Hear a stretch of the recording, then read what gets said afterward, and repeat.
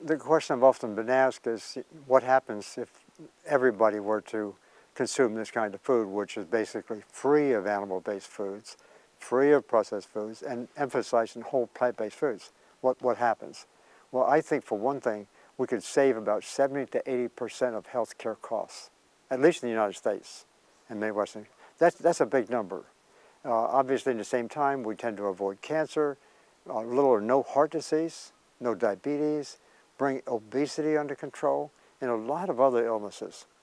The remarkable thing about this diet is that it has this very broad effect on a whole variety of different illnesses. The, the question really is how much protein do we need, especially should some of that be animal-based? And my answer is, based on the research, that none. And the reason I say none is because this allows our taste buds to change. So we become accustomed to the plant-based foods. And plants have all the protein we need. We do not need protein from animal sources. It's that simple. Because the protein from animal sources, when we start putting that in there, blood cholesterol levels start going up, heart disease will eventually follow, cancer begins to sort of grow faster. So we really don't need this, this kind of protein. Plants have exactly the ideal amount. And, and some people, of course, some people can have small amounts of, you know, the wrong kind of food and do okay. But no one knows for sure, you know, who they are, who, who's the most susceptible to various things. We just know the vast majority of people are going to respond in an unfavorable direction from consuming that kind of food. The, the, the, question really has to do with, you know, whether we need to consume animal foods in order to get certain nutrients, such as iron and zinc and maybe some protein, some calcium. In, in, in reality, the amount of nutrients present in plants, those kind of nutrients, is uh, really ideal. We do not need animal foods to get those kind of nutrients. If we're consuming whole plant-based foods, that's key. Whole plant-based foods, and a good variety, and, and so forth, good quality. You know, that's, that's the issue. Whole wheat bread. Whole wheat bread, yeah, exactly. All the greens, vegetables, fruits, and things like that. I've been at this uh, business. I started my research career now more than 50 years ago.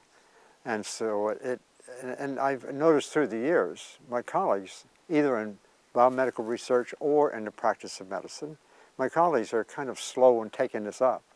And at first they're kind of resistant. I mean, I know that game because I was there myself. But, and now I know it's a different story. And it, it is discouraging at times to see some of them sort of react negatively the way they do, on the one hand, but on the other hand, just in the last maybe five, ten years, I've been lecturing a lot to medical schools.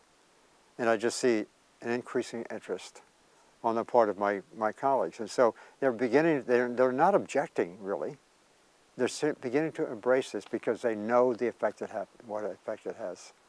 Young scientists who are coming along have been trained in the existing system or young doctors trained in the existing system, as our son, the one that wrote the book with me, has been. Um, they, they have a challenge. It's obvious they're working against the system. They're working against the system, but you know, a little cleverness, a little bit of honesty, a little bit of courage, a little bit of feeling for you know who they're working with will take them a long ways. And just in other words, kind of stick to it. If you've got something that's useful, it's true, people respond, you know, just work with it. Just work with it. I think is the best advice. First time I was getting information that the information was different than what I had been taught, maybe it was in the late 1970s, early 1980s. And at that time, it was kind of strange for me because I came from a dairy farm. And to say that the protein of cow's milk might be a problem, that was pretty serious.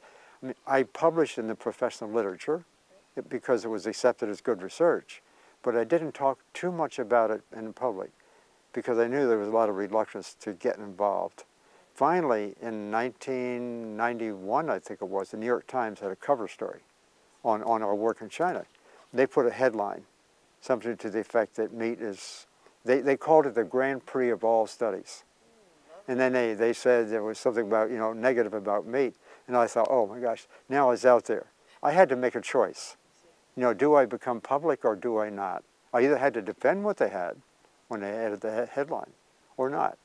And I, I mean, I, it was clear to me. It was just a matter of being public. So I said, okay, I'm going public. And I knew at the time that there was going to be a lot of negative reaction. And it was, and it has been, coming from the industry especially. But, you know, I, I was told early on in my life, especially by my father, always tell the truth, no matter what. And so, you know, I just the answer was easy. It doesn't make any difference what they say.